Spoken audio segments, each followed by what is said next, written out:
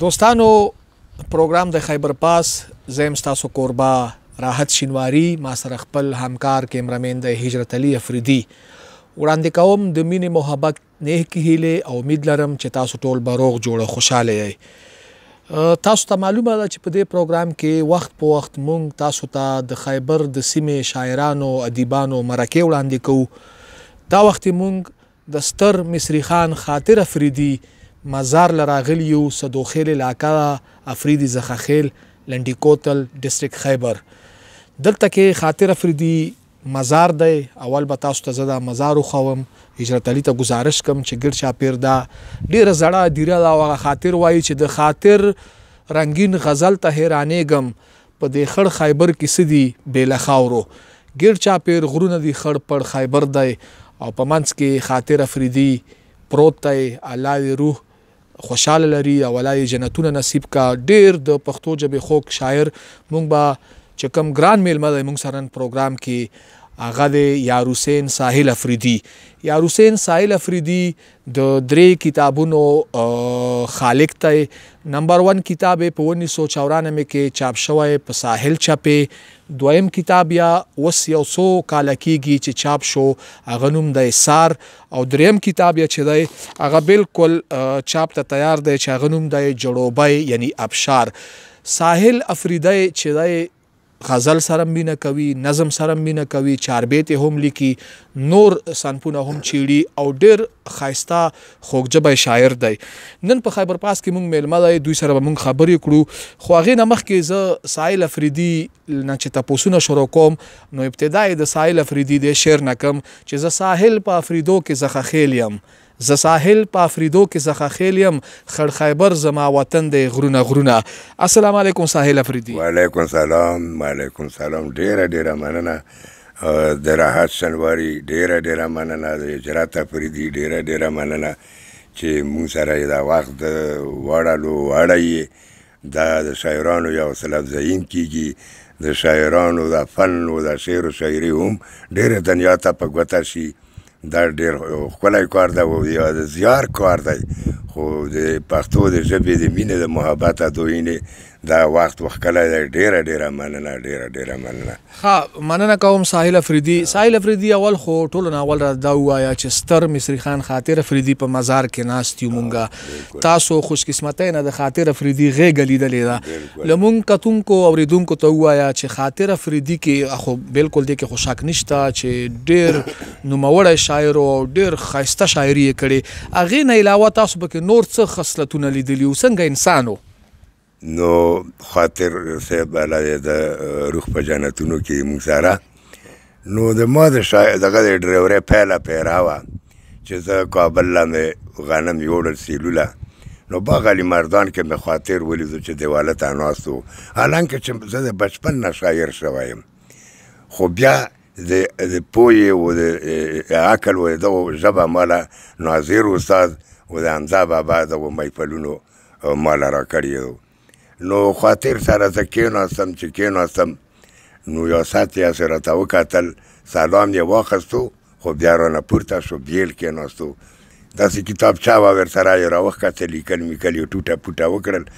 نو بس بیا یې کتابچه دغه کړه بیا راغی او ما سره لاس میلا کړو چې خپه نه شي ما تعالی په هغه ټایم کې د روخ در نه کړو خو زه په خپل دغه کې وم دا شای رانه بیا خطا کېدو نو ما ورته وویل چې ما به دا خفګان دی چې ارمان کړی تا په دا عمر کې ما فرق نه وای راوستلی خو بس ما ته هم پته نه وه نو زه بخښنه غواړم چې نه نه دا خبرې نشته ډېره ډېره مننه نو بیا مې ورته وویل چې تا کوم یو غزل لیکلو نو هغه غزل یې په دغه دغه کې چې غالبا دا انیس سو ستاسو داسې کال به وو چې اشت کړم آباد د ګړنګونو په سایرونو پرې وطن د لری وطنونو په سایرونو او غر کې به سترګې به زما شي اخر غر کې په ژړا کې ګرځي چې کشته یې د طوفانونو په سایرونو نو یا یو شعر یې داسې و چې سعید زم شاعر وم خو ما د ابتدايي شاعري وه او خاطر چې و که نه خاطر و نو چې رښتیا خبره یو یو شعر یې په ما کې داسې پوره پوره ځای پیدا کړو او بیا ورسره شپه مې راغله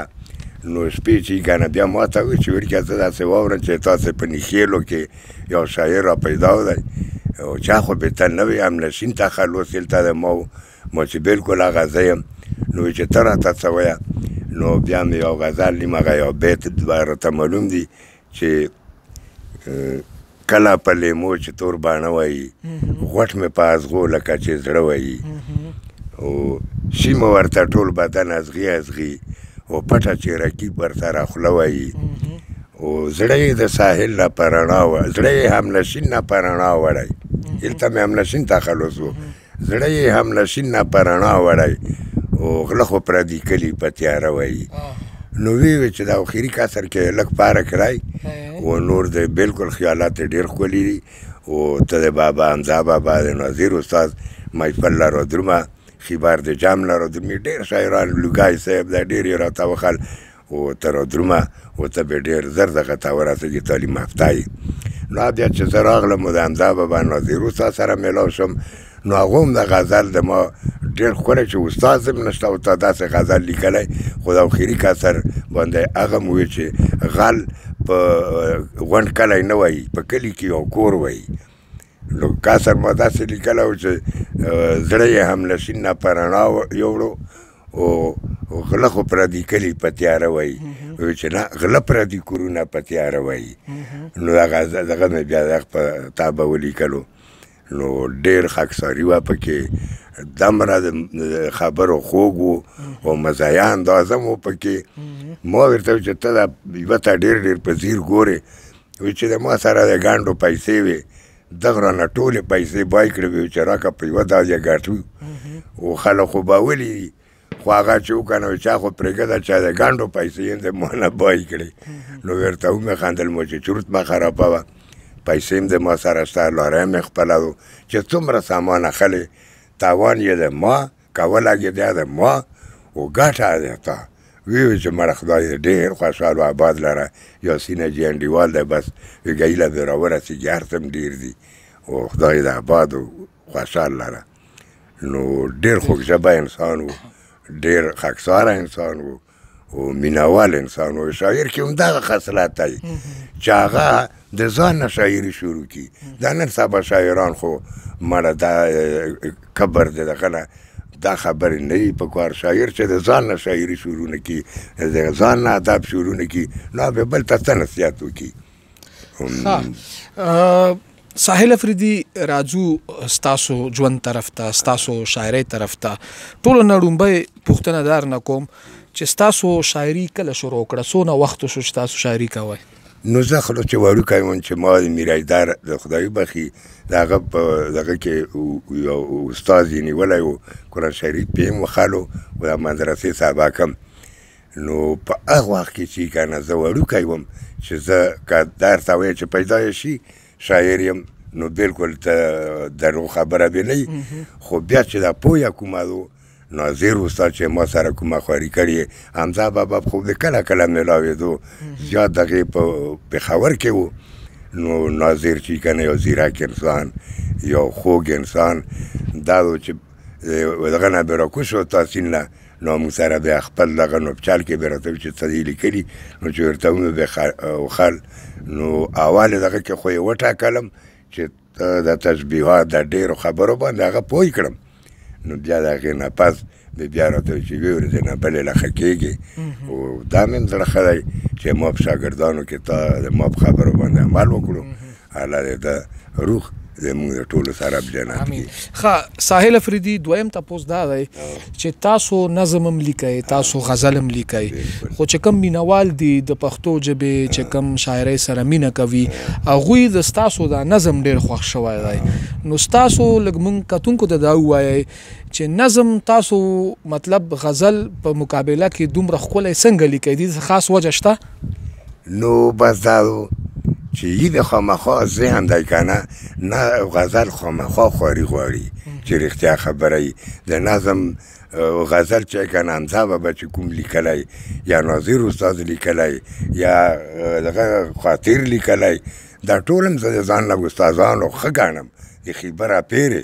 ښه ښه دغه شته خو موږ هم کوشش کوو چې ښه غزل ولیکو خو په نظم باندې د ما دمره عبور حاصل دی چې ما مور مړه وه نو شپې په درې بجې باندې زه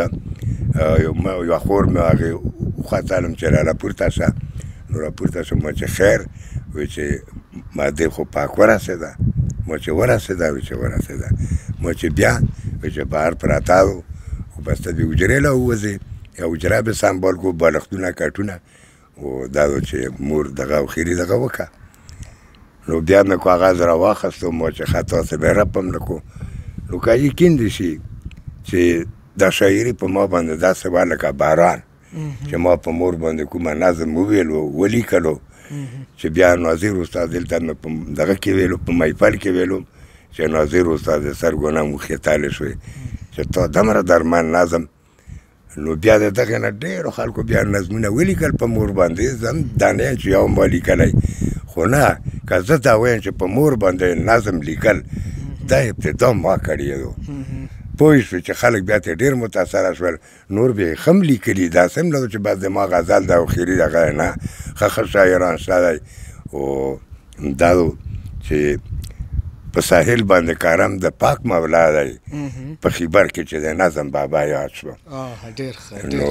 بس نظم چې کنه نظم بالکل د مخواخن دی او لیکلې مر تاسو دي او غزل ډېر ستونزي غوړي حالانکه چې غزل مم لیکلې کمزوریم دي کې داسم نه خو خې غزلم صاحب کې میوري غزلم صاحب مینوالو نظم ډېر خوښ شوی ګرانو کتونکو یارحسین ساحل افریدی مونږ سره میلمه دی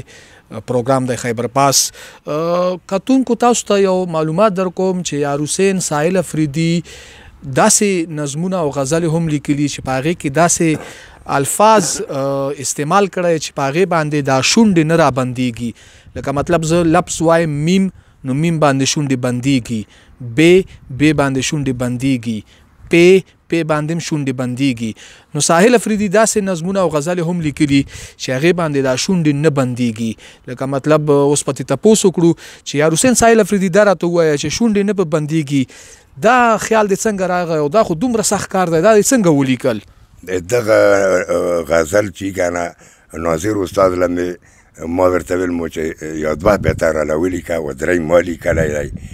وی چې راکه پنځه خو به له ولیکم و ما چې شرط پکې دا دی چې غزل به معیاري وي بیتونه به معیاري وي و شونډې به پې نه بندېږي وی چې ته تر خلاص یې نو بس سبا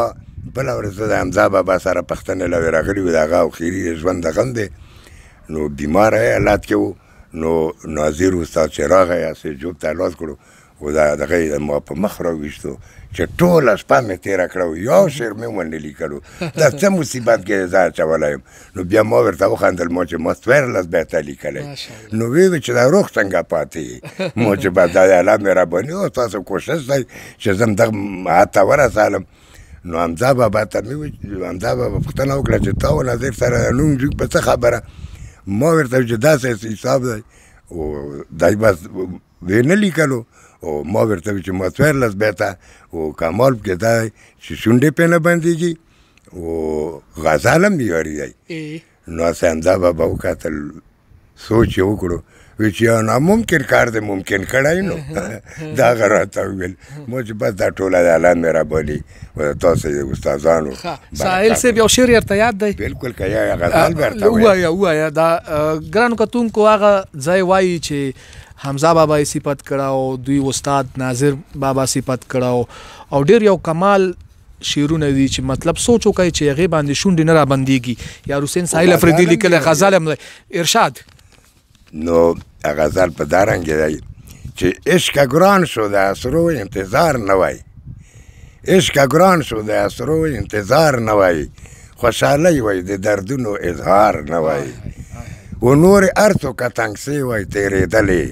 خو آشنا د ستا د څنګ نه کینار نه وای و احتساس را سره نه و ډېره ښه وه د وړو غوندې ژوندون وای هوښیار نه وای و د ستا حسن شو رڼا ګانې تیارې وې چې ورکړی د دنیا ته دیدار نه وای و نور داغونه د رنځور د زړه نه وران شو درېغه درېغه دغ د ستا د ګزار نه وای و د ګلشن ګلونه داسې ښایسته نه وو چې لیدلی یې ستا ښکلی روزغار نه وای و د خوږو ویلو هر چرته رواج وای د ترخوا د ترخې وینا یې چاته اظهار نه وای او د زړونه د راویخ کړه شور یې جوړ کړو چې جوړ کړی د نن داسې سنگار نه وای او تاتارې نه د تیرا ګوره ساحله هلته جوړ د دواړو کور وای غیار نه وای ډېر ښه تاتارې نه د تیرا ګوره ساحله هلته جوړ د دواړو کور وای اغیار نه وای. ګرانو کتونکو دا هغه غزل ؤ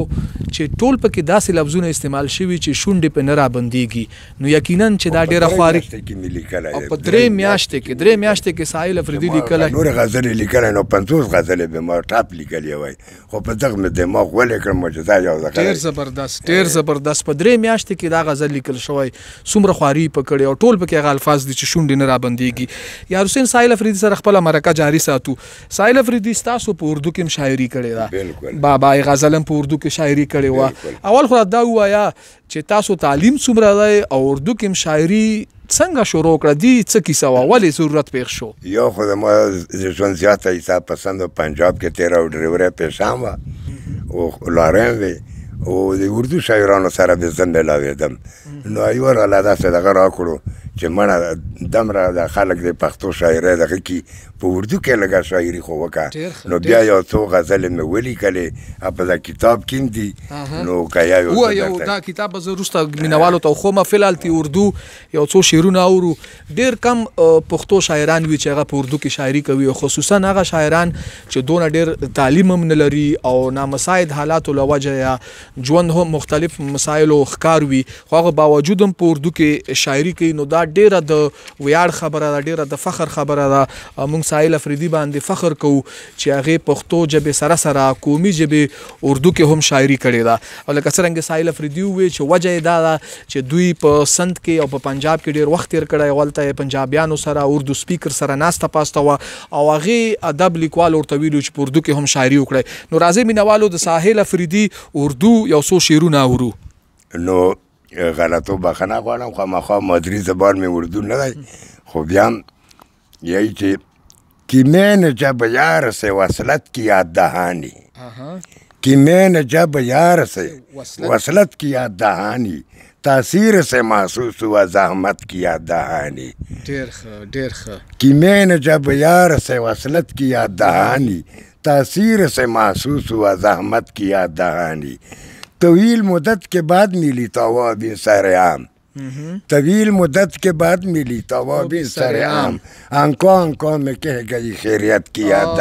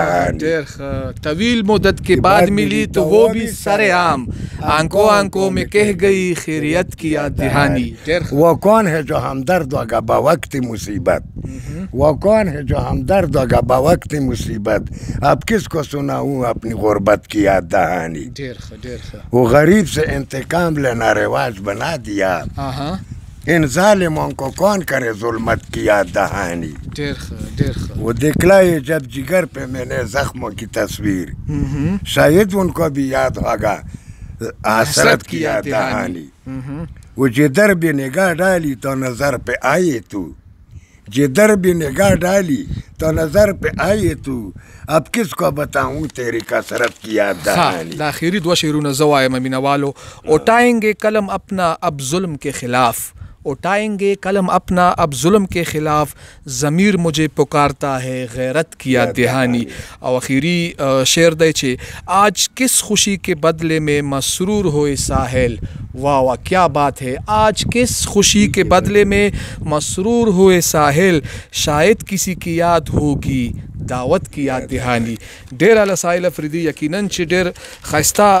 اردو شاعرین تاسو کړی ګرانو کتونکو یارحسین ساحل افریدی دا دویم کتاب دی چی نوم یې دی سار دې باندې برا شعر هم دی ماپ ټایټل ویل او دا چاپ شوی دی یار حسین ساحل افریدي کتاب دی د خیبر د غرونو تصویر هم دی پکې او دا کتاب چې دی په کال 2015 کې چاپ شوی او لکه مونږه مخکې پروګرامونو تاسو ته ویلو چې کم پښتو ژبې قبایلی شاعران دي هغه مالی لحاظ سره ډیر بے وسه دي هغه نشي کولای چې خپل کتابونه چاپ کا او داسې یو شمیر کتابونه چې دوی چاپ ته نورم تیار دي خو هغه نشي کولای چې هغه چاپ کا دا کتاب چې دی سېنېټر الحاج تاج محمد افريدي دوی سره مرسته کړې وه مالي او هغې مالي مرستې سره دا چاپ شوی دی او يوه بله ضروري خبره دا ده چې ساحل افريدي بل يو کتاب دی چې هغه نوم دی جړوبی جړوبی په پښتو کې ابشار ته وايي که نه ابشار ته وايي هغه چاپ ته هم تيار دی نو دلته چې مونږ کومه کلتوري څانګه ده او ډسټرکټ اډمنسټرېشن دی او په تېره تېره دلته چې کوم واکمن خلک دي شتمن خلک دي هغوی په کار دی چې يار حسين ساحل افريدي او دوی نورو ملګرو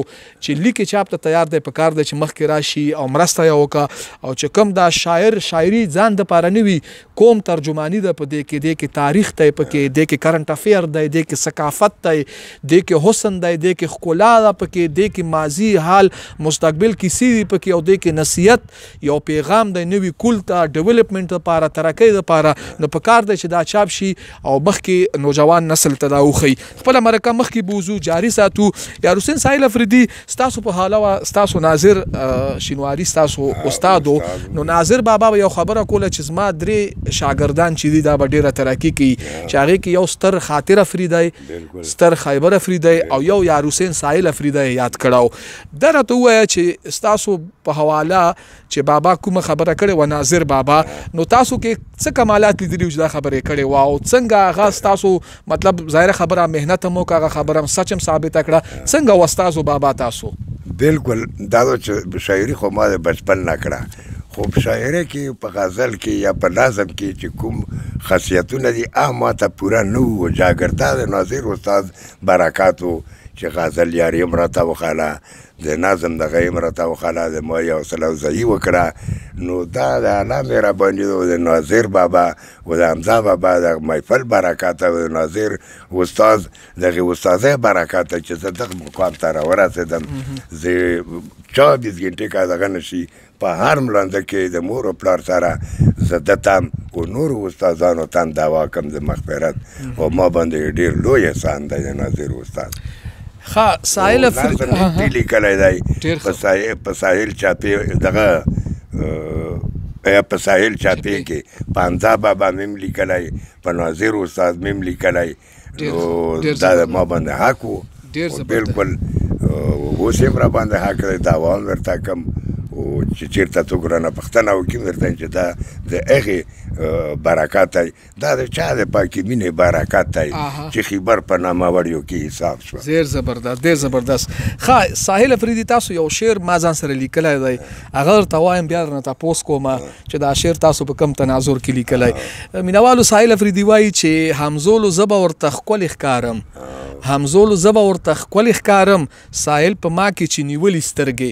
لکه موږ چې ساحل افریدي په حواله تحقیق کړو نو موږ ته داسې ښکاره شوه چې دا شعر داسې عشق طرف ته ځي نو لږ موږ ته ووایه چې دا شعر تاسو په کم تناظر کې لیکلی نو ما په کابل کې چې رښتیا خبره یې خاطر نه پوښتنه وکړه چې خامخا هر سړي یو چوټ خوړلی او بیا چې هغه انتها ته ورسېږي شاعر ته جوړ شي نو دا تا نو ما ته یې وخندل چې امنسین صاحب دغه داره ترکی مخ په وړاندې روانه ده چې خره ته هم والمایه کېدای شي چې اول ویایي ترکی یې وګړی ارتقا را روانه او خار وګړیږي او کار د له ونه ګوري نو بس هغه ټایم کې راز خدای په پرده کې که د مینه غواړې خوند په ډېره ډنډوره خبره زیان ته ورسیږي او بل شعر بېرته دا ویم چې وختونه تېر شول د ستم نښې دې نه زړیږي وختونه تېر شول د ستم نښې دې نه زړېږي دغ مې تازه په زړه دی ستا د ګزار هغسې دی پوه شوې مینوالو ساحل افریدي په خپل دو شعرو کې ټول افسانه بیان کړه مونږ پوه شو مزید رازونو باندې پرده خره چې پرته وي ساحل افریدي بل تاسو سره دا کوم چې تاسو ته یا تاسو نور ملګرو ته حکومت طرفه څه اجازه ملاوږي نو دا خو زه ډیر افسوس کوم چی نه د پیښاور خلکو د ملاکان خلکو دا ټولو او د شاعرانو حق دی که هر یو یی موږ په هغو باندی زړه نه بدوو خو موږ د خیبر ایجنسی او خصوصا د لوړګی تحصیل شاعران سینیر شاعران اول زه د شپږو کتابو مصنف یم دوه چاپ دی دا نور چي کنه که څو حرس مي د دنيا د سيمو زرو نشته خو ځنې چارې د پيسو نه بغير چرته کيږي نو مونږ که مالي امداد د اعزازي د مونږ منظورې شوې يا يې منظورې کي نو مونږ سره بې ډيره غټه نيکي وي مونږ دا شاعري بې چي کنه نور هم پرمختګ بوزو او دا ده چې هر قام ته هر ولس ته د پښتو ادب ته د شاعرانو د ښو شاعرانو ډېر ضرورت دی